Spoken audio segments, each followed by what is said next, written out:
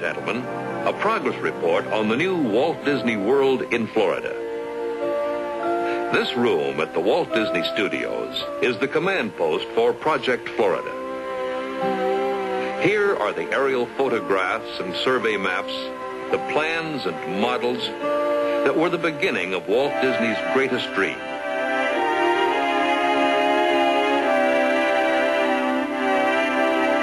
Few short years ago, surrounded by these same maps and plans and models, Walt spoke of this dream.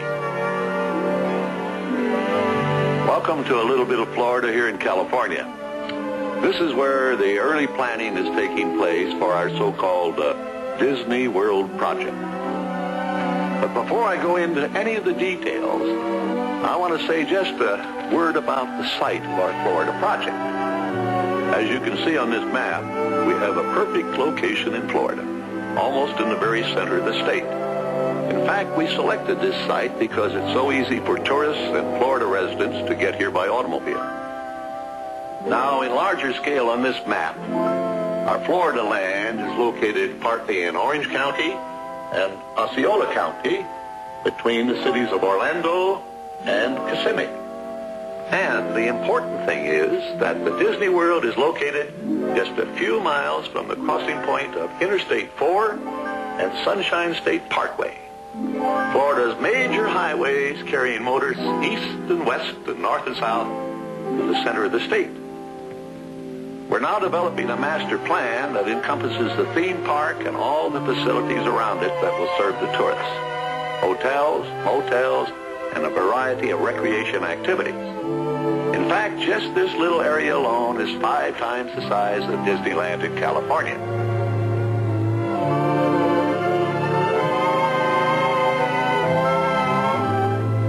But as you can see on this master plan, the theme park and all the other tourist facilities fill just one small area of our enormous Florida project. According to this scale, I am six miles tall. Now that's 12 miles from here up to here, and the whole area encompasses 27,400 acres. That is 43 square miles, twice the size of the island of Manhattan. Here in Florida, we have something special we never enjoyed at Disneyland, a blessing of size. There's enough land here to hold all of the ideas and plans we could possibly imagine. Right now, our plans include an airport of the future down here in Osceola County, an entrance complex where all visitors will enter Disney World, an industrial park area covering about 1,000 acres, and of course, the theme park area way up here. Everything in this room may change time and time again as we move ahead. But the basic philosophy of what we're planning for Disney World is going to remain very much as it is right now.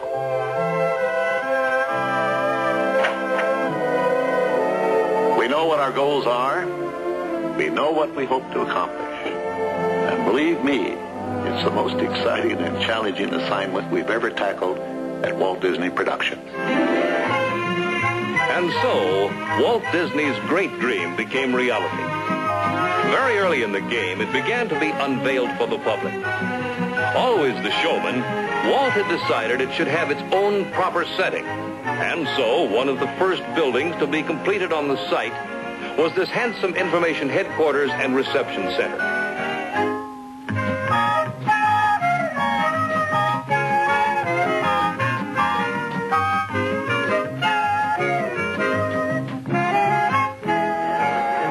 Inside the reception center, a special theater had been constructed in which to present the Disney World story. The main feature was a scale model visualization of what Disney World would look like on opening day. And here it is. The parking lot in the foreground, Bay Lake for water sports on the right, the tropical lagoon with its resort hotels on the left, and the theme park with its towering Cinderella Castle in the distance. As our hostess and tour guide tells the story in full detail, suppose we pretend we are opening day visitors. Where do we go first? Well, it's likely we would leave our car and our cares behind us hop on the Disney World monorail, and find ourselves delivered to the exciting new contemporary hotel. Not just at the doorstep, but right in the lobby, only a few steps from our room.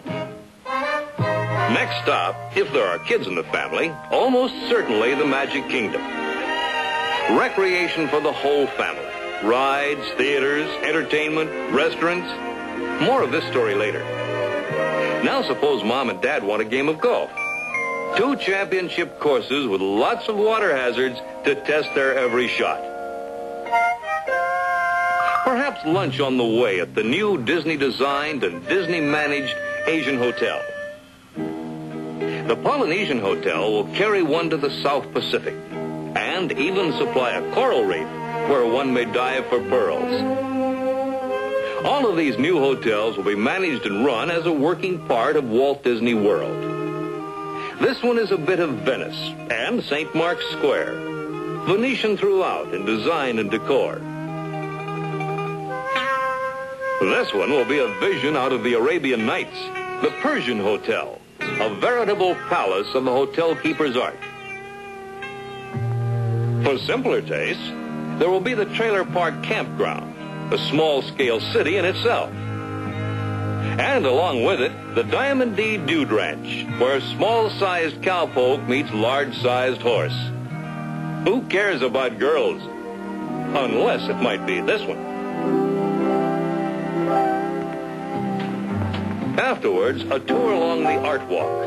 Here, every phase and every facet of Walt Disney World is sketched and visualized in complete detail. This was Walt Disney's way, part of his meticulous thoroughness.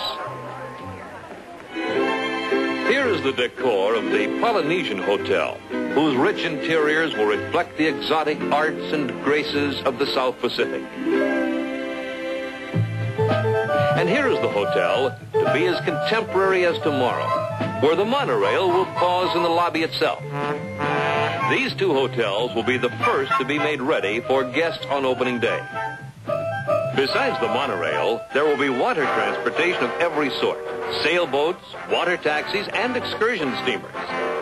This is the side-wheeler Osceola that will ply Bay Lake and all the inviting byways of the tropical lagoon. And these will be the landmark features of the theme park itself.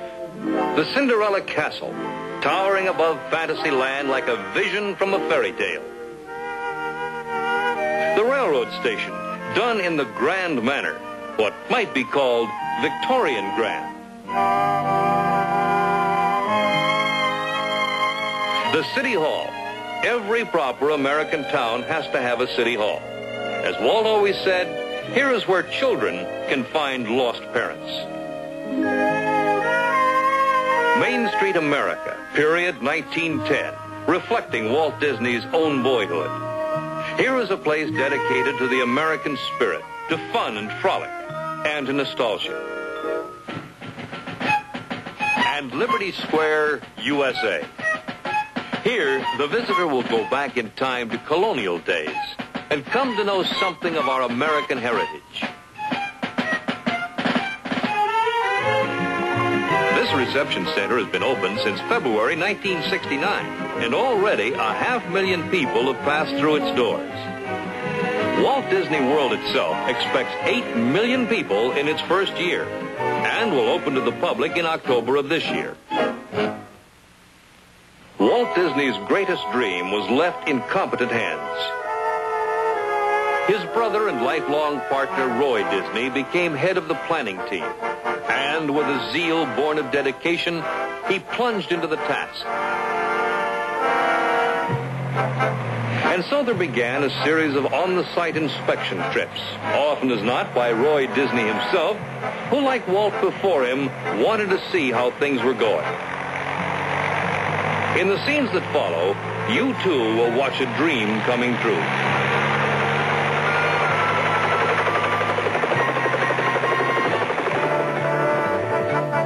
Time almost, it looked like this. The construction site began to look like the model. Buildings taking shape, even streets and plazas beginning to appear. Approaching from the lagoon, when later there is a lagoon, we would disembark at this boat dock, make our way under the railroad embankment, and continue up Main Street toward the central plaza in front of the castle.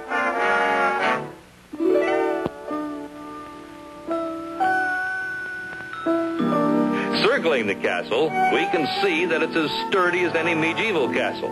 But the food will be better. A first-class restaurant on the top floor will provide the best view in the park. The two grandiose concoctions in the foreground are not birthday cakes created by some giant confectioner, but a railroad station and a city hall. Remember the sketches? Now the artist's dream has become a tangible reality.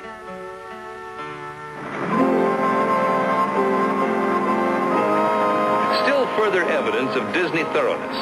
This whole operation from start to finish was recorded on film. And here's our documentary cameraman setting out to make this day's report. Meanwhile, his assistants have manned the 50-foot tower that stands on what will be the Central Plaza, the very hub of the Magic Kingdom. His camera records their activity, and theirs record his coming by. A case of picture takers taking pictures of picture takers.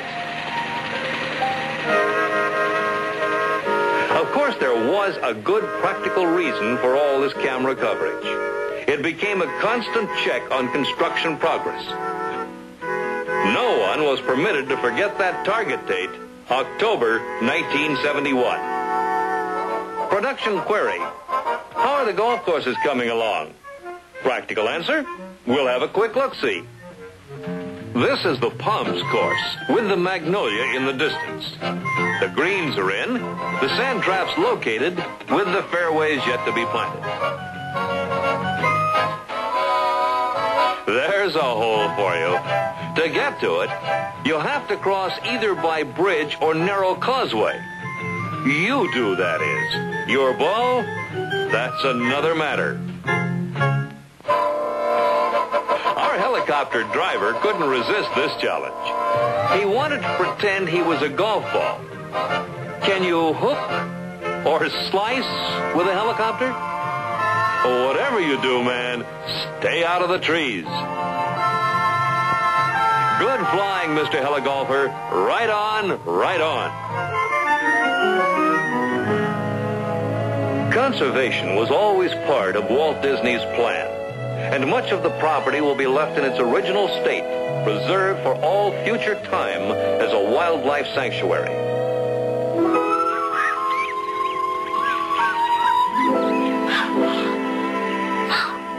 The great blue heron flying above it is almost a symbol of the wilderness spirit that will be left entirely untouched. In the park itself, meanwhile, one of the last big jobs is the monorail, the sky-running railway that will circle the entire premises. The tall pylons are in place. The streamlined cars are being readied for a first trial run. And here come the tracks, arches of solid concrete. Getting them to the park is an engineering feat in itself. For each of these spans is 110 feet long and weighs approximately 55 tons. Lifting them into place becomes almost an exercise in bridge building. 300 of these giant beams to create five miles of elevated track. Let's make a magic carpet jump to California to see what fantastic shows and attractions are being planned for inside these fanciful buildings. In California, a part of the Disney organization is known as WED Enterprises, formed by Walt Disney years ago when he was planning Disneyland itself. From the very beginning of Project Florida, WED has been busily at work doing what we call Imagineering, blending creative imagination with technical know-how. This may look like an explosion in a toy factory, but it's really one of our most charming attractions called It's a Small World. There will be nearly 300 of these doll-like figures representing children from around the world. but each one has been made an individual with his or her own cheerful face and native dress. Here again, carefully built scale models have been made so that our artists and designers can see just what the final appearance will be.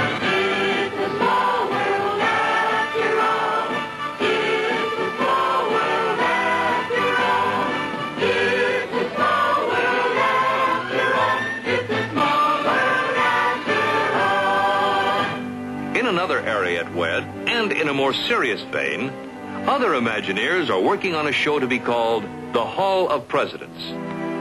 This will honor the men who have held the highest office this nation can bestow. For months, our artists and researchers have pored over hundreds of books and paintings and photographs, studying each president in minute detail. Beginning with George Washington himself, every president of the United States has been meticulously sculptured in life size.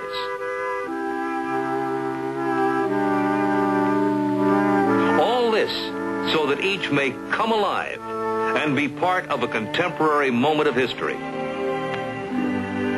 When all are finally assembled in common conclave, we shall hear Abraham Lincoln's inspiring words from the past, words of presidential prophecy which are as valid today as in earlier times.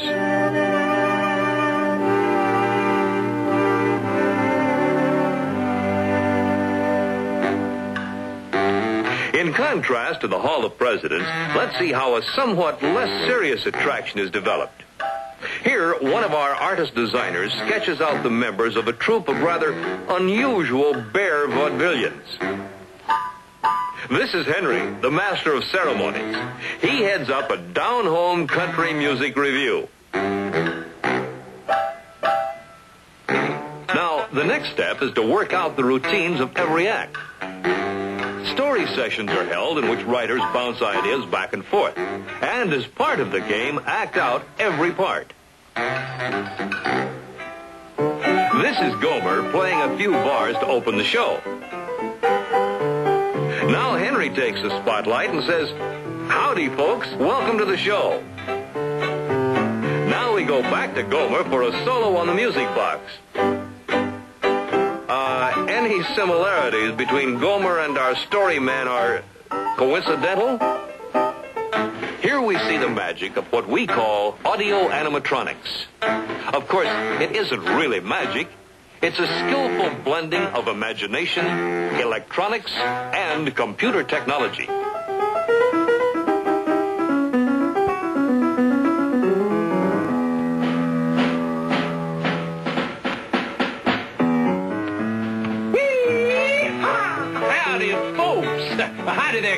Welcome to the one, the only, the original Country Bear Revue, featuring a bit of Americana, our musical heritage from the past. But enough of this chit-chat, yak-yak, and flim-flam. Just refrain from hibernating, then we'll all enjoy the show. Uh, play on there, Gomer. Born on the mountaintop in Tennessee, the greenest state in the land of the free. Raised in the woods so he knew every tree. Killed him a bar when he was only three. Davy, Davy Crockett, king of the wild frontier. Well, that's about all we have time for. We'd better let our Imagineers get on with their work. They have a lot left to do. We have an opening date deadline, and time is hurrying by. So let's go back to Florida for a last minute look at progress there.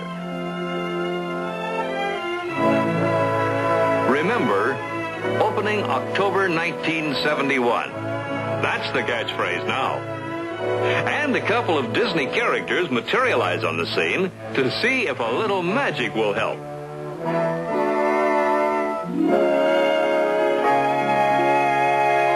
Along Main Street, buildings are looking bright and new and finished. Scaffolding is coming down. But there's much to be done. And as deadlines approach, time runs by, the tempo of things picks up. It not only picks up, it begins to get a bit hectic. With the help of a little trick photography, of course.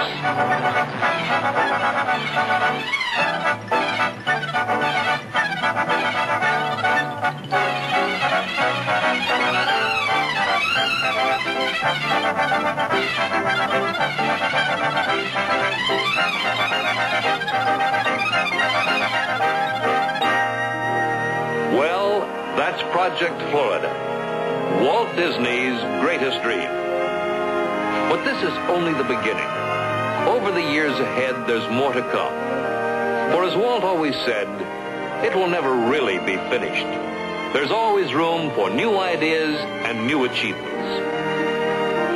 Opening Day, October 1971. A gala occasion, a time of celebration, a time for fun and fireworks.